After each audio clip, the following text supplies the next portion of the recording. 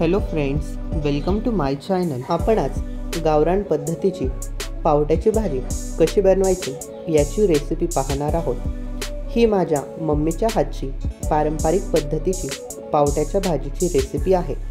चला तर मग व्हिडिओला सुरुवात करूयात.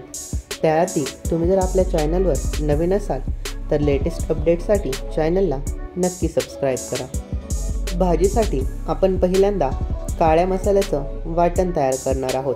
त्यासाठी खोबऱ्याचा छोटा तुकडा असा काळसर भाजलेला आहे. त्यानंतर एक मध्यम आकाराचा कांदा तेलामध्ये तळलेला आहे. सोबतच थोडेसे शेंगदाणे तळलेले आहेत आणि भरपूर अशी बारीक कोथिंबीर आहे. याचं सगळ्याचं आपण बारीक वाटण तयार करणार आहोत. इथे सोललेला एक कप पावटा कुकरला तीन ते चार शिट्ट्या काढून मऊ शिजवून घेतलेला आहे. गॅसवर छोटी कढई ठेवलेली आहे आणि त्यामध्ये चार टेबलस्पून तेल गरम केलेलं आहे. गरम तेलामध्ये एक चमचा मोहरी टाकलेली आहे. मोहरी तडतडल्यानंतर यामध्ये एक चमचा जिरं टाकलेला आहे. फोडणी व्यवस्थित तडतडल्यानंतर यामध्ये अर्धा चमचा हळद आणि एक मोठा चमचा लाल तिखट घालणार आहोत. यानंतर लगेचच आपण तयार केलेलं वाटण यामध्ये टाकूयात. आणि हे वाटण आपण बारीक गॅसला तेल सुटेपर्यंत छानपैकी परतून घेणार आहोत. यामध्ये चवीप्रमाणे मीठ घालूयात आणि छानपैकी मिक्स करूयात. पाच ते दहा मिनटे हे वाटण आपल्याला परतून घ्यायचं आहे. वाटण पाच ते दहा मिनटे छान परतलेलं आहे. त्याला व्यवस्थित तेल सुटलेलं आहे.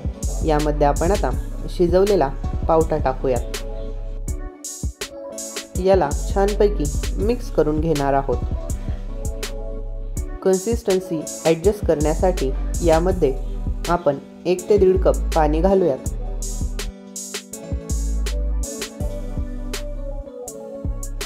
यानंतर ही भाजी आपल्याला बारीक गॅसवर पाच ते दहा मिनटे छान उकळून घ्यायची आहे.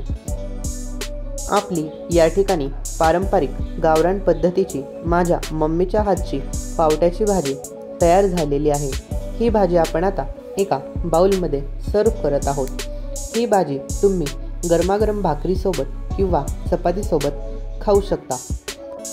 रेसिपी आवडली असल्यास नक्की लाईक करा आणि तुमच्या फ्रेंड्स अँड फॅमिलीमध्ये सुद्धा शेअर करा. आपण पुन्हा एकदा भेटणार आहोत. अशाच एका नवीन रेसिपीमध्ये तोपर्यंत बाय बाय